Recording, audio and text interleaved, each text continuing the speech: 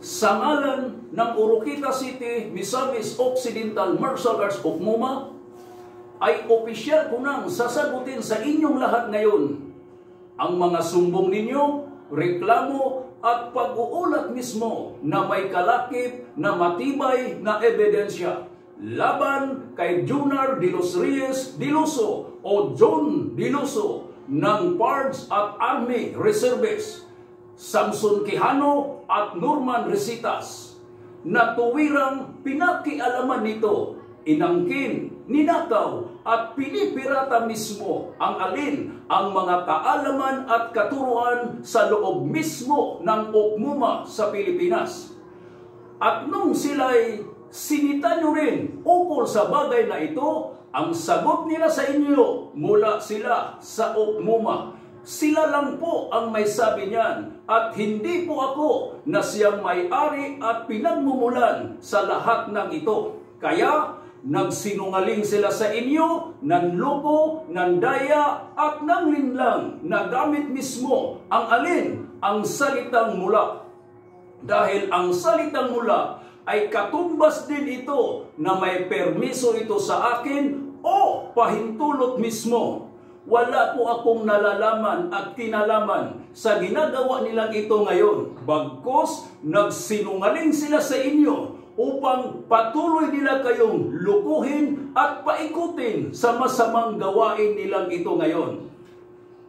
At ayon nga sa ebidensya nyong ito, sa ukmuma nga ang itinuro nila sa inyo, pinapakita at pinapakilala. Subalit, magtataka po kayong lahat ngayon dahil Pikima o Philippine Combati Martial Arts ang nagiging pangalan nito ngayon at hindi na po Okmuma. Kaya terrible po ang mga taong ito at delikado. At nagawa pa nilang nagpasalamat sa nagtuturo sa kanila nito na parabagang napakalinis at napakaamo ang mga budhi nito na parabagang hindi krimen ang ginagawa nilang ito. Subalit, hindi naman nila masabi sa inyo kung sino talaga ang taong nagtuturo sa kanila nito at ano ang tunay na pangalan sa martial arts na itinuro din sa kanila nito. Higit sa lahat, ayon din sa description nilang ito, ay ibinabahagi lang naman nila kuno sa inyo ang kanilang nalalaman na para bagang meron silang dakilang malasakit sa inyo. Subalit, hindi po ito totoo. Bakit po? Sapagkat ang salitang pagbahagi o pag-share ay libre po ito.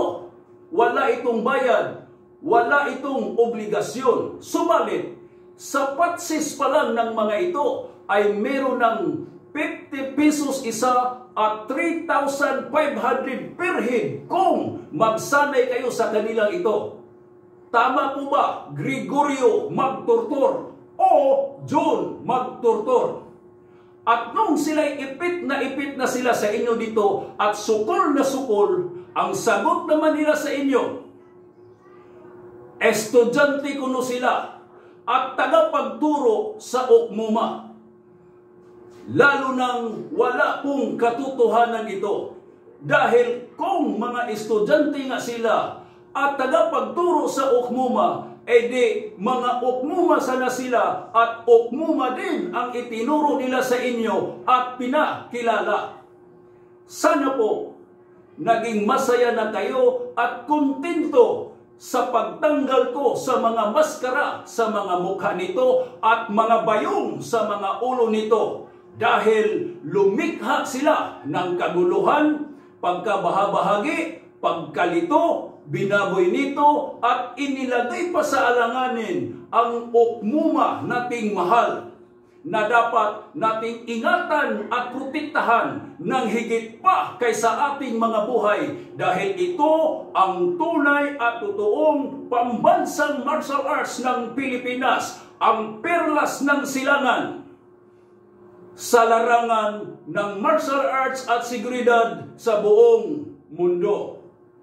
People of the Philippines, OCMOMA members, DTI, YouTube, Facebook, Reel, at TikTok. Decision is yours. At dito ko po ipapakita sa inyo kung ano ang kaibahan sa isang mamamayan nga nagnakaw lamang sa, sa pag-aari ng kanyang bayan at sa mga kawatan kaysa gikawatan at sa mga huwad kay sa genuine ito. Marami pong salamat.